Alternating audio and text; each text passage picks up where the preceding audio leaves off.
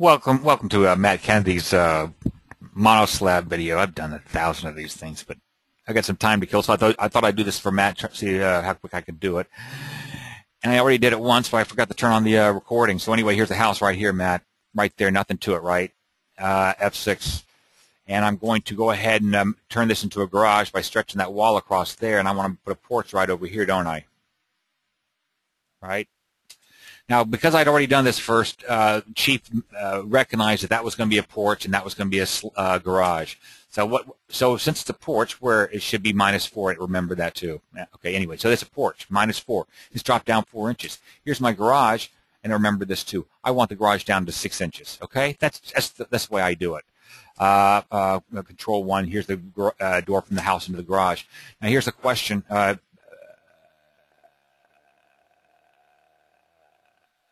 anyway, uh, I don't have a foundation yet. I'm going to build a foundation. I'm going to build a mono slab foundation. Uh, build foundation. It's going to be a mono slab. Uh, slab footings. They're going to be 12 by 22. Perfect. Okay, now let's see how this automatically builds. I'm going to do this automatically, and then I'm going to do one uh, manually. And what I did was uh, uh, uh, Shift G. Here you go. That's that's what Chief built right out of the box. That's not bad, is it? Not bad. A couple of issues though. You can see the footings are different heights right there. You see that different heights? Well, how do you fix that? Uh, here you go, right here. Uh, I, I, break this right here, and I say, well, this one, the slab's dropped down uh, four inches, so I the footing has to be four inches shallower, 18. Now it's going to line up. See, it lined up right that. What about this one here? See this thing hanging down over here? I got to do the same thing. Come down here, 18 inches. Done. Now, what about this? What about this?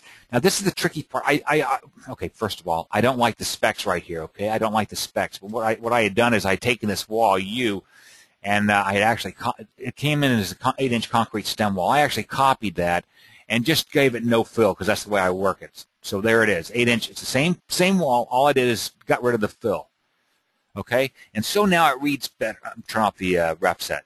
Now it reads better, okay? I don't I don't like the specs on this thing right here and here. So I'm going to do the same uh, for, these two walls here. One, two. I'm just going to change the wall type U to uh, garage. And that gets rid of the fill. That's all I did.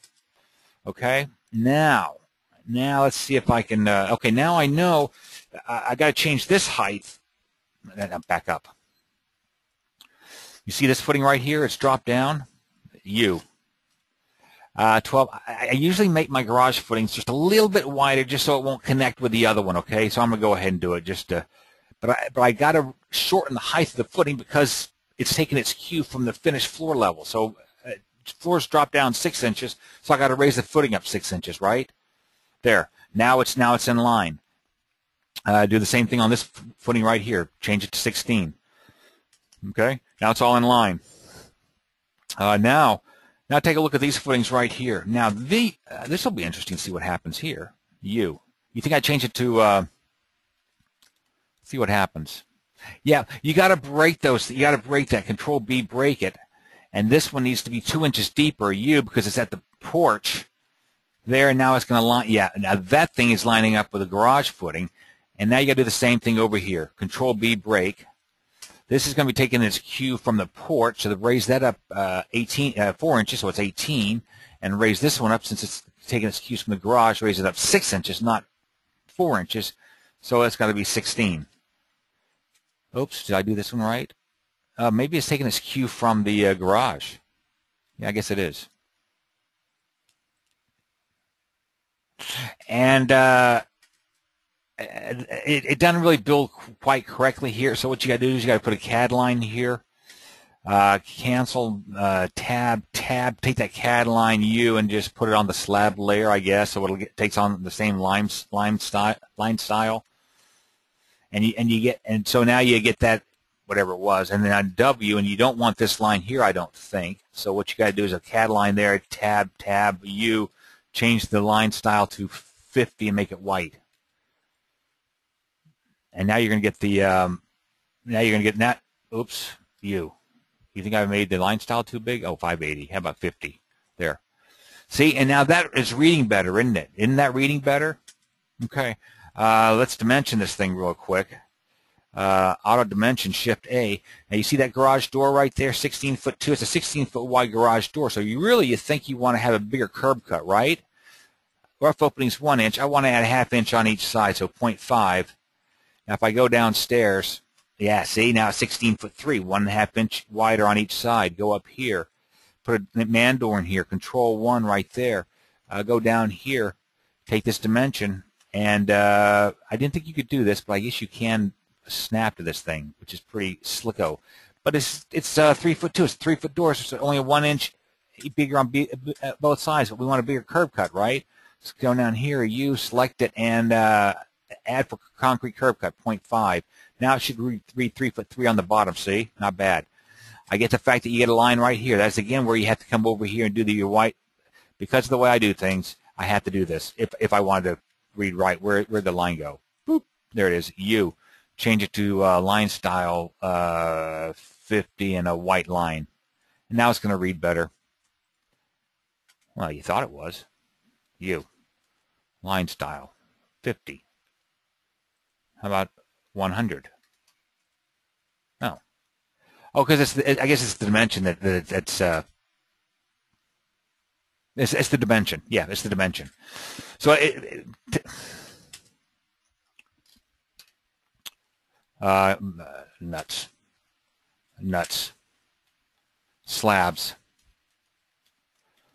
Change the line weight to uh, 50. Yeah, now it's reading better. You got me? It's just that dimension line. That's what you're seeing right there. So there you go. And that's that's pretty darn good. That's how the slabs work in uh, the automatic slabs. But suppose you want to do your own uh, slab. It's an addition, and you got to come back here and do something else. Here we go. Go upstairs. I'm going to put another garage. I'm going to put another garage on the back side here, right? Uh, shift R. I'm going to put a wall right here. This is where my garage is going to be. One, two. Uh, control, control four. Put a uh, control four. Put a garage door right there. Okay. Now you want this. I labeled it because it's remembering you. Oh. Okay, but I want the garage to be dropped down six inches, right? So I take the floor and drop down minus six, right? What happened? Look what happened. The whole the whole slab dropped down, didn't it? The whole slab dropped down. You know why? Because you don't have a room down below the, the, the slabs. Control C. I just copy those walls. Let's go over here. Six to paste in place. Now I'm going to turn those into U. Wall type. Uh, 12 inch concrete stem wall. Um, uh, uh, uh, uh foundation. Specify foundation. Yes curb width. I want to just want to be an 8 inch curb width. There. Okay, I still got a problem, but I still have a problem there, don't I? Because the floor up above is still recognizing minus 6. All I do is go over to here, raise it up to 0, and now you can see that, now you can see that, uh, now everything's hunky-dory. And that's automatically built. Got, oh, all right, now let's, now I gotta, I gotta, uh, uh, futz with this thing a little bit take this thing, and you can see the uh, ref set below there.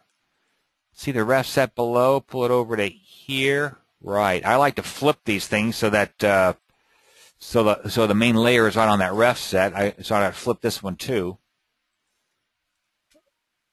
Okay. I swear I did this before. I didn't have that extra lip there. I don't. I don't. Sometimes I get that extra lip, and I F12. Oh, now it's fixed. Is it fixed? No, not real. Not really. Why isn't it fixed? I swear sometimes this gives me a little bit of a hard time. Sometimes it doesn't. U minus 6. That's right. Oh, uh, oh, there. I guess I. It doesn't automatically update. Maybe you just have to go over there and make the stem wall 10 inches. Yeah, I think that did it. Yeah, good to go, buddy. There you go. And again, you got to come back here and select. Uh, see, now this is what I was talking about. Uh, get rid of my ref set. See, I don't have the curb right there. And if I break it, I guess I'll get the curb. Oh, maybe I have to just go U curb width is 8, and because of, uh, you know, I like my wall type like this, the garage without the fill, you think that's going to fix it? Yeah, I guess it did. Sometimes it just well, maybe it was me. Maybe I didn't know what I was doing. Maybe you don't have to change that the footing by half inch, which is what I was doing. Just change the curb with the eight, and they should stay separate, I guess. I got to change uh, you. Got to change this to wall type of uh, garage. Yep, and now it should be good. Good to go, buddy. And now that thing flashed back again, didn't it? See, check that out. You. Oh, I got I got to change the stem wall to 10. Yeah, sometimes it does that. There. At least it's fixed now. You. And now you got to go back here and uh, tab U, uh, raise this up uh, six inches and change that to 16. You got the drill. I already did that once. And come over to here, U, change this to 16. And it's not it's not in line, is it? it's not. I swear, man. It's F12. It'll fix itself, I think. U. There. Now it's fixed.